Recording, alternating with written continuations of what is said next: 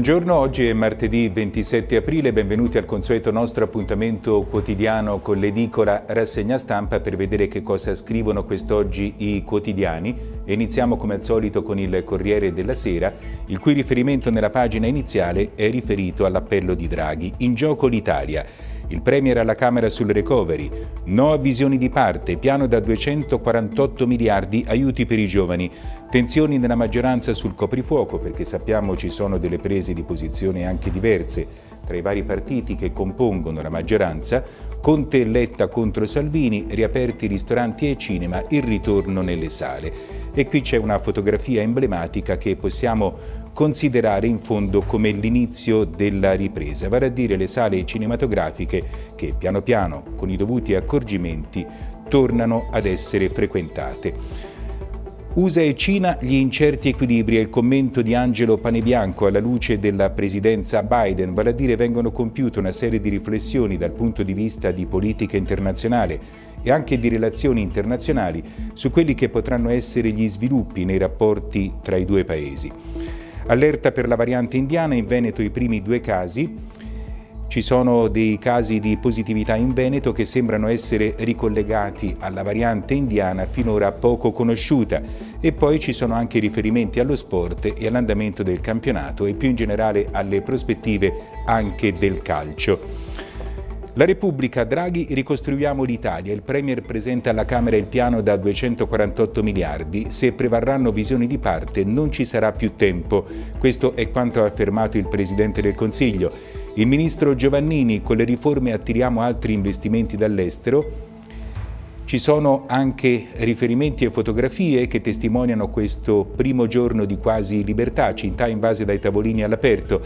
E questa fotografia inconfondibile, visti i porticati, si riferisce alla situazione di Bologna. Poi eh, PD, le primarie, il bene minore, il commento di Michele Serra facendo riferimento all'attuale situazione politica all'interno del PD e più in generale il giudizio di Stefano Folli fa eh, riferimento alla sfida a scacchi con i partiti, vale a dire il punto sull'attuale situazione politica nazionale prendendo riferimento alla eh, situazione che si è venuta a determinare e ai rapporti di forza creati da questa circostanza, da questa emergenza che stiamo vivendo. La nazione, Draghi, ho fiducia nel mio popolo, il Premier presenta il piano per la ripresa, cita De Gasperi e parla di spirito repubblicano, stupidità e corruzione afferma non prevarranno. Biden bocciato all'esame dei 100 giorni, americani insoddisfatti, perlomeno questo è il primo giudizio che così la Nazione riporta qui nel suo articolo di spalla. E poi ci sono riferimenti anche alle notizie di cronaca locale, a cena alle 19, così lunedì della ripartenza, Rebus Tavolini tensione in Piazza Grande e poi cannabis in ambulanza De Benedetto davanti al Jeep. Ecco la pagina di cronaca di Arezzo. La tavola è calda in Piazza Grande, un titolo in verità piuttosto originale per descrivere anche in fondo quella che è la circostanza che si è venuta a determinare alla luce delle riaperture, tensione tra due ristoratori per le apparecchiature esterne, intervengono i vigili, ma ci sono subito clienti e forse questo, anzi non forse, è sicuramente l'aspetto che più interessa i singoli operatori. Coprifuoco a cena alle 19 perché questi cambiamenti avranno delle ripercussioni, forse anche sulle nostre stesse abitudini, perlomeno temporaneamente. Vediamo all'interno, pronti via già le prime cene dalle 19 in poi, riaperti i costanti, bar, tazzine sì ma fuori.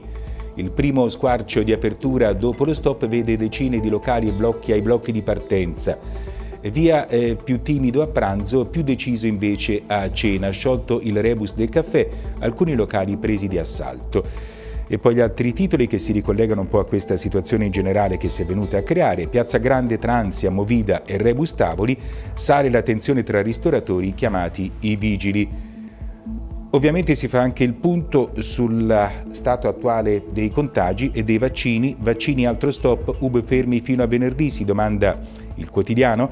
La Verna tutti i frati isolati chiude discount. E a questo proposito vediamo un po' quello che è il punto dei contagi nel nostro territorio. Dopo il clamore del dato domenicale si torna sui livelli tutto sommato del periodo. Non si abbassa la pressione al San Donato e purtroppo si segnala un'altra persona deceduta.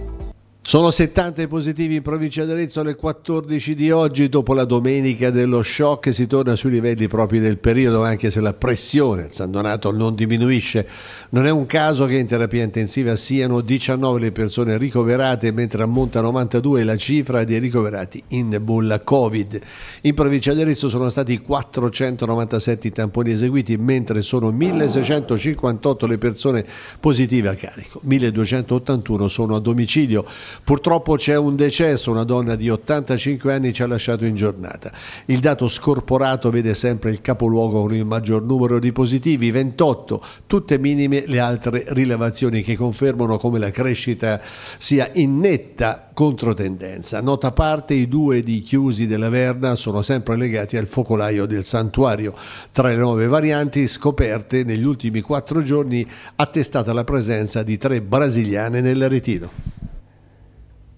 Qualche notizia, finiti gli ultra ottantenni, la ASL riversa tutte le sue energie per vaccinare i vulnerabili. Il vaccino è Pfizer o Moderna. E ancora, il Covid è riuscito, come detto, a entrare all'interno del santuario francescano della Verna facendo esplodere un vero e proprio focolaio. La situazione è comunque sotto controllo. Hanno riaperto i ristoranti con il servizio al tavolo, non tutti hanno lo spazio evidentemente per allestire all'esterno, ci sono state varie reazioni. Il Cinema Eden riparte il prossimo fine settimana, per la multisala occorre attendere il prossimo 15 maggio. Torniamo alla lettura della Nazione. Walter in ambulanza all'appuntamento col GIP, con lui deputati e politici, sit-in in 18 città. Questo è un caso che, come detto, ha fatto molto discutere l'opinione pubblica. Cannabis a uso terapeutico. Supergruppo della moda in alleanza con Marzotto. Sono movimenti importanti nell'economia. Z Catene Galvanica Formelli, aziende da decine di milioni di fatturato, entrano in Ambria, lavoro. La segretaria Cislo Russo traccia quelli che possono essere i futuri scenari. Qualche altra notizia, oltre agli inserti della Nazione, tra cui quello dei cronisti in classe, il campionato di giornalismo che sta avendo da anni ormai un grande successo. Dal Valdarno, sgominata la gang dei furti di auto di lusso, sono tre persone, tutte residenti del Basso Lazio, tra Aprilia e Cisterna di Latina, che sono stati scoperti grazie anche all'intervento dei carabinieri della compagnia di San Giovanni Valdarno. Talia sarà sottoposta a un'altra operazione, il caso della bambina di Terranuova che dovrà andare di nuovo sotto i ferri in attesa dell'intervento negli Stati Uniti. La mamma afferma che i tempi sono piuttosto lunghi. Lockdown tedesco del chitarrista, siamo a Castiglion Fiorentino, in Germania blindato a casa da un anno per il Covid, la storia di Giacomo Ghezzi raccontata qui al quotidiano. Commercianti arrivano le misure anticrisi, qui siamo a San Sepolcro e poi per quanto riguarda il Casentino, Destination Casentino, la promozione online, un nuovo sito di proposte sulla rete, creazione e gestione delle esperienze. Promozione del brand nato dall'idea di due giovani il primo marketplace, quindi ci sono dei giovani che si ingegnano come è giusto che sia per dare anche delle soluzioni a problemi che in fondo poi riguardano tutti. Abbiamo visto alcune notizie, ne diamo un'altra. La Procura di Siena in merito all'inchiesta sull'incidente nel quale lo scorso 19 giugno è rimasto gravemente ferito Alex Zanardi a Pienza, ha chiesto al GIP l'archiviazione dell'accusa di lesioni colpose nei confronti dell'unico indagato, l'autista del camion, contro cui andrò, andò a scontrarsi il campione. La famiglia si oppone a questa archiviazione. Vediamo il prossimo servizio firmato di questa edizione della nostra rassegna stampa. L'amministrazione sta individuando nuove sedi di voto alternative alle scuole, ci si riferisce appunto alle elezioni e in questo servizio vediamo quali sono i primi spostamenti. In un futuro prossimo, probabilmente, non ci recheremo più a votare nelle scuole. Il progetto in più tappe dell'amministrazione comunale, che segue all'input del Ministero degli Interni, è quello di individuare delle sedi alternative e già molte ne sono state individuate. Non troveremo più le urne appoggiate sui banchi, i disegni attaccati nei corridoi, ma soprattutto ragazze e ragazzi non rimarranno più a casa nei giorni delle elezioni, quindi della preparazione e degli scrutini.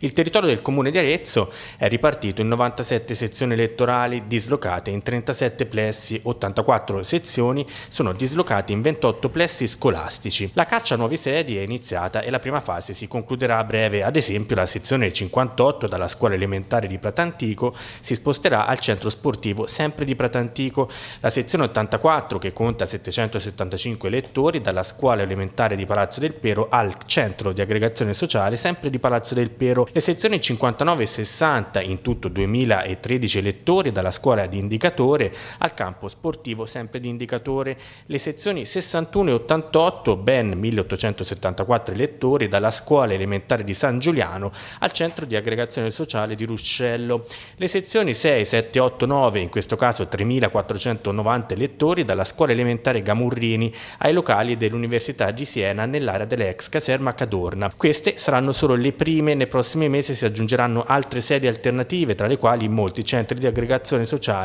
ed ex circoscrizioni. Sono ancora molte le sezioni per le quali ancora non sono state trovate nuove sedi e la caccia da parte dell'ufficio elettorale è ancora aperta. Ricordiamo gli appuntamenti in programma sulla nostra emittente, stamani mattina alle 10 spunti e spuntini, poi stasera dopo il TG 9.10 e quindi ben gode con Alex Revelli stasera e Susanna Cutini. Qualche altra informazione, Confartigianato e Comune di Arezzo siglano accordo per fare ripartire la mobilità in taxi over 65, disabili, studenti e casse integrati potranno ritirare voucher di sconto tramite il sito del Comune di Arezzo. Torniamo alla lettura dei giornali, vediamo il Corriere di Arezzo, è battaglia su scontrino e coprifuoco, questo è il titolo di apertura. Le associazioni al ristorante fino alle 22 ma la linea soft della Polizia Municipale cozza un po' con le rigidità del governo. Riaperture tra emozioni e mugugni, questo è lo stato d'animo che ha accompagnato molti ristoratori. Poi notizie dall'Europa, azione legale dell'Unione Europea contro AstraZeneca, dalla Toscana, rincari delle materie prime, ripresa a rischio, soprattutto nel settore del legno, e cronaca di Arezzo, sorrisi, dubbi e mugugni, ripresina per caffè locali. Questa è un po' l'apertura.